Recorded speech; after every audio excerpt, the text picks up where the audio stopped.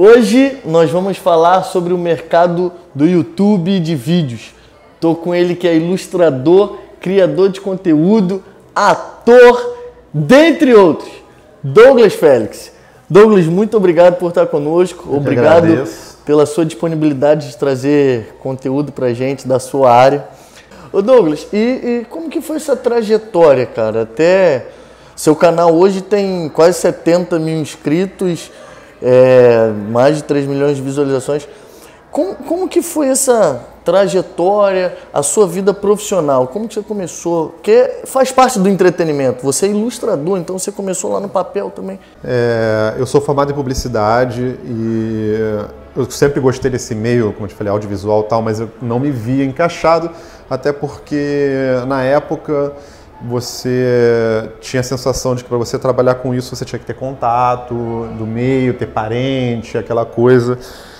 E aí eu falei, pô, já sou no meu canto quieto e eu não tenho ninguém da minha parte familiar é, é no meio artístico, eu não tenho a menor possibilidade de, de, fazer alguma coisa, muito menos eu criar coragem de gravar um, um vlog no meu quarto, porque eu não sei nem se eu tenho talento para esse tipo de coisa. Mas eu sempre tive, eu sempre desenhei e, e, e fiz cursos de desenho e tal, e cheguei a trabalhar profissionalmente com isso. E foi num período onde eu queria parar de fazer trabalho por encomenda, que eu fazia muita coisa para editoras. Uhum. Eu falei, eu quero criar algo meu. E, e, aí nisso foi na época do boom dos blogs, que, onde tinha muito blog explodindo e esses sitezinhos e tal. E eu falei, bom, eu vi uma palestra de um camarada que ele falou que era possível você viver só postando seu conteúdo próprio. E aí ele passou mais ou menos o, o que era o, o segredo do sucesso na época. Eu falei, quer saber, eu vou arriscar. Aí eu fui de cabeça nisso, eu larguei aos pouquinhos o que eu fazia de ilustração de encomenda e foquei só no site.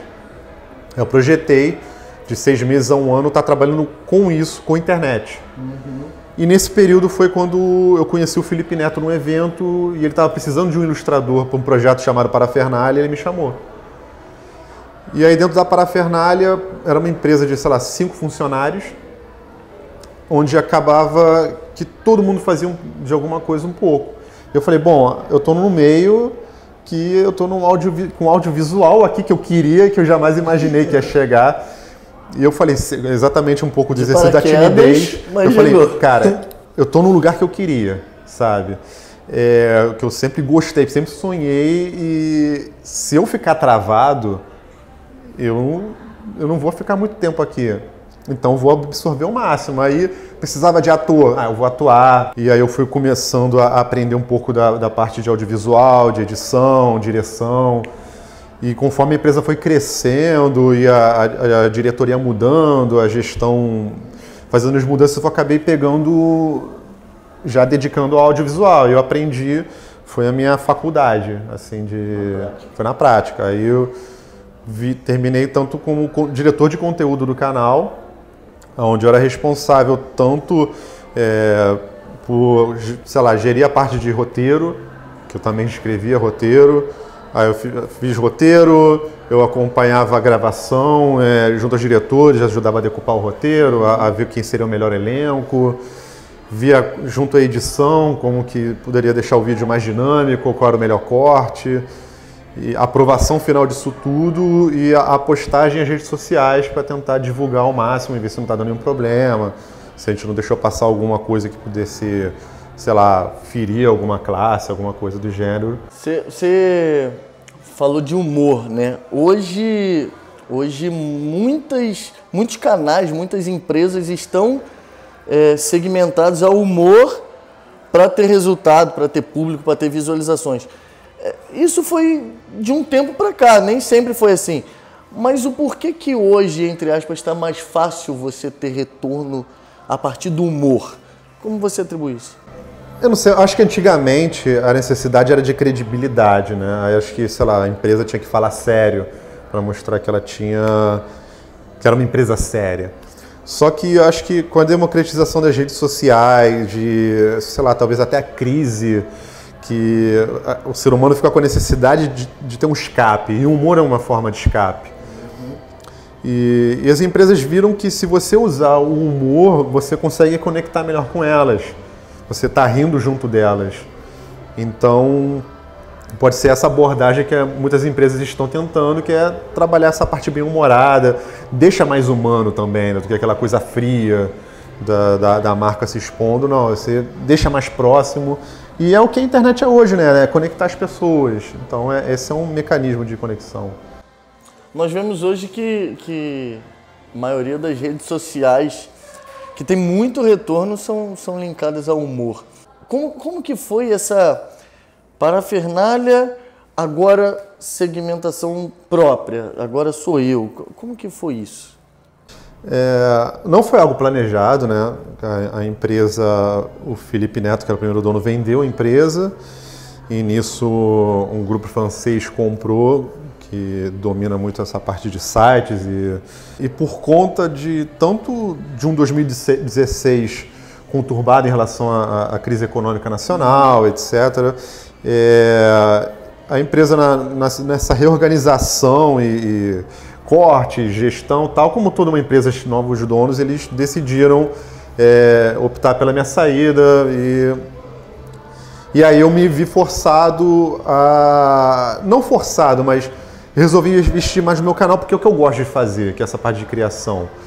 Então eu falei, bom, é oportunidade. Eu já estava há muito tempo querendo voltar a fazer, mas eu não conseguia por conta da demanda de trabalho. Uhum. Eu falei, bom, agora eu vou, eu vou investir no, no meu canal, que eu tenho uma liberdade maior de criação.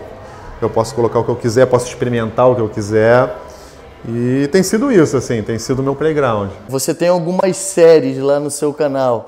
É, tem o, o, do chato, né? É, Era diariamente chato. Diariamente chato. Como que. De onde surgiu? Como que vem essas ideias? Vem, vem de onde você busca referência? Como é que é isso? Cara, algumas coisas eu vejo que alguns, alguns youtubers, sei lá, que eu gosto fazem. Eu falei, pô, vou fazer também, porque é a minha versão da, daquilo. Outras são. É, é, eu tenho uma necessidade, sei lá, interna de, de, de criar, de, de inventar coisas muito grande. Então eu fico, eu me sinto mal quando eu sinto que eu não estou criando, pensando em nada. E aí eu fico me desafiando a, a, a, fazer isso. Hoje, por exemplo, esse, eu tinha esse diariamente chato que era um vlog onde eu tentava fazer diariamente, mostrar meu dia a dia. Mas como hoje meu dia a dia não está tão corrido como era na, na época da parafernália, porque eu não estou em sets diferentes, então ia ficar uma coisa muito monótona. Uhum. É, eu estou fazendo os vlogs. O vlog eu estou tentando jogar muito em relação a, a temas de identificação e, e, como posso ajudar. Por exemplo, eu fiz essa semana eu lancei sobre ansiedade. Como você pode lidar com alguém que sofre de ansiedade de uma forma bem humorada. A pessoa sofre, pô, nem todo mundo entende que isso é um uhum é um, é um, problema de saúde, às vezes pensam que é frescura, e, e como você sendo amigo de alguém que está com isso, o que você pode fazer para amenizar? Interessante. Eu, aí eu falo disso. Eu estou tendo um retorno assim, de muita gente que sabe, agradece porque se sente identificado com o material e, e isso acaba sendo combustível, sabe? Assim, pô, na semana, cara, eu sofro disso, é muito ruim. Ah, eu conheço alguém que, que sofre de ansiedade, eu não tenho como ajudar. Agora eu já sei mais ou menos o que eu posso fazer, obrigado. Então isso é muito bom. É, eu tenho também o meu talk show, que é um canal de entrevista, um bate-papo como a gente está tendo agora, onde chamo alguma celebridade para conversar. E eu tento sempre buscar conhecer um pouco mais da pessoa em coisas que talvez ela não tenha respondido ainda, entendeu? E sketch, que era o que eu tô, eu, eventualmente vou fazer, que era o que eu criava na parafernália, que era uma coisa que eu já estava treinado mentalmente, que era ver o que está acontecendo no momento e como eu posso zoar isso. De todos os seus trabalhos, de todas as suas profissões, é, qual é o trabalho que mais te marca? É, é, assim, não, esse daqui eu fiz, eu recordo até hoje, é, é o meu xodó. Tem algum?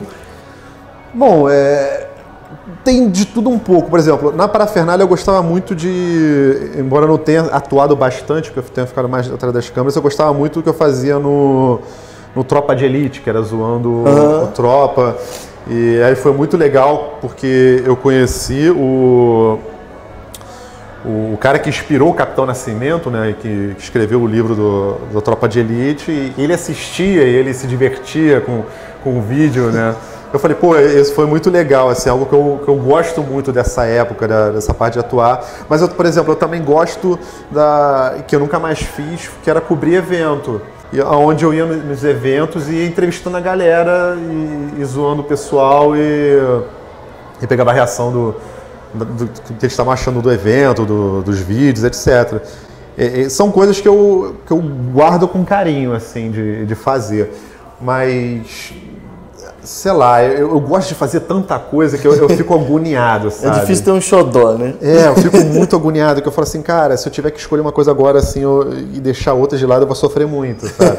e, e a parafernália nesse sentido, que é uma coisa que me permitia ter isso, né? Porque é, se eu quiser ver uma direção, eu podia ver a direção, eu tinha, por exemplo, o meu cargo permitia né, esses uhum. privilégios. Ah, eu quero escrever hoje uma ideia, vou escrever, eu quero atuar, quero fazer isso, aquilo, outro. E, e é uma coisa, assim, pelo menos o meu canal permite eu ter essa liberdade também. Então é, é meio difícil, assim, eu, eu quero continuar criando.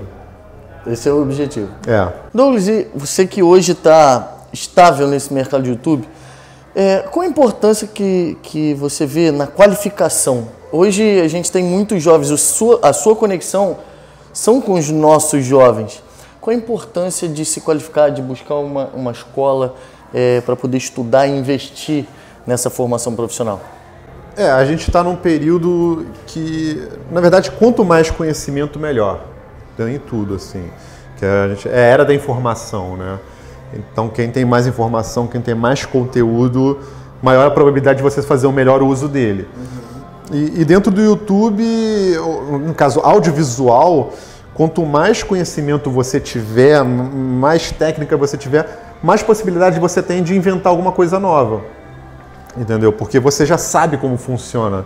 Então, é, isso é importante a, a qualificação, porque você sabendo dominar tudo, você fica apto a, a criar alguma coisa, a, a, fazer uma coisa diferente. Então é, é muito importante pensar nesse, no, no ensino nesse sentido. Para você chegar aonde você chegou hoje, quais foram as barreiras, as dificuldades, as desconfianças que você ouviu, que você teve que superar? Cara, eu acho que você enfrenta alguns inimigos, algumas barreiras. Não vou dizer um termo inimigo que é muito pesado, mas acho que é uma. O primeiro é você mesmo, porque eu acho que é a gente que coloca o maior, os maiores obstáculos, a gente que transforma aquele obstáculo em algo maior, né? A gente olha para aquilo e pensa, cara, é impossível, não dá, eu não vou conseguir. E acho que é um inimigo que a gente tem que superar primeiro é, é, é nós mesmos.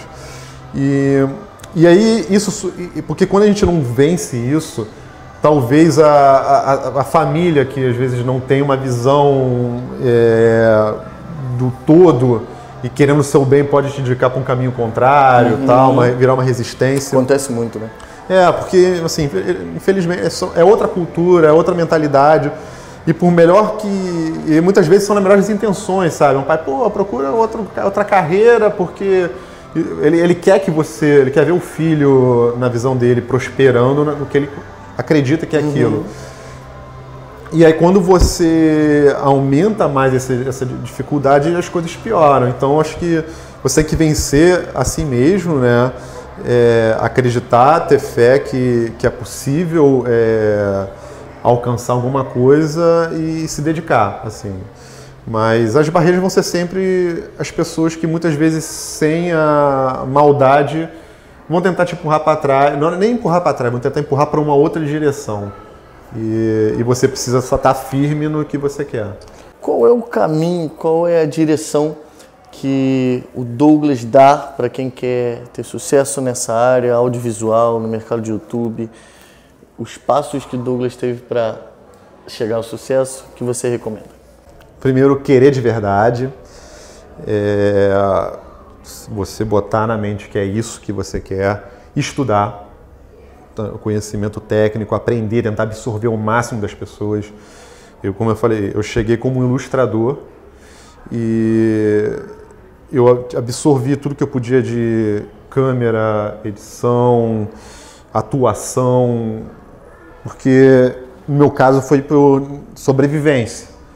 Mas é necessário você absorver o máximo. Se você está no curso aqui, tentar absorver o máximo que o professor pode dar, não só na sala de aula, mas fora da sala, tentar praticar isso e tentar mostrar, principalmente absorver e transformar isso em algo prático. Ter perseverança, porque é muita, e muita paciência para você entender, porque às vezes nem sempre as coisas vão vir na hora que a gente quer, a gente tem tudo tem, tem seu tempo.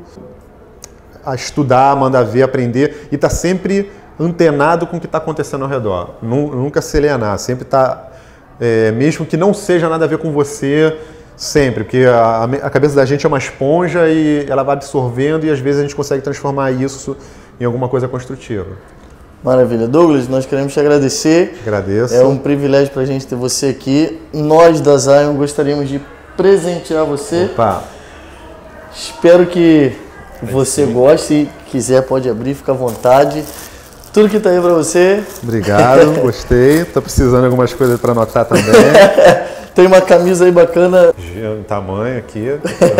Chego em casa, pensou é N, aí ferrou, vai grande Deu tudo certo é. então. Pessoal, esse foi Douglas Félix, youtuber, roteirista, diretor de conteúdo e dentre outras formações diretamente da Zion para você. Valeu, obrigado galera.